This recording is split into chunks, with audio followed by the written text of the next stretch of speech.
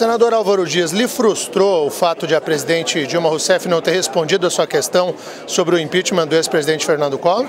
Ela não veio para responder, né? veio para esconder. Então, não só essa questão do presidente Collor, que eu insisti dizendo que era muito importante a resposta dela, ela não se fez rogada, simplesmente não respondeu apenas aproveitou o espaço para fazer a peroração do seu governo, tentando transformar o fracasso em êxito, né? mas isso é impossível, nem mesmo os mais notáveis oradores conseguiriam transformar um governo fracassado num governo aplaudido pela população.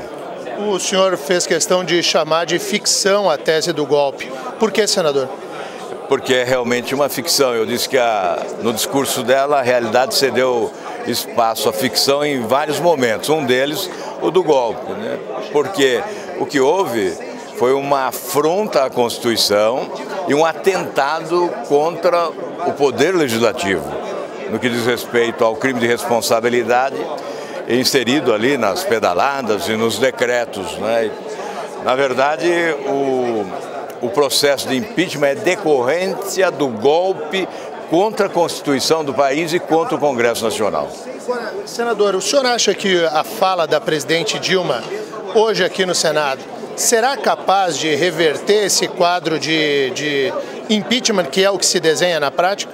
Não, não há hipótese. Não creio que ela tenha a capacidade de alterar convicções com o discurso que fez e com as respostas que ofereceu.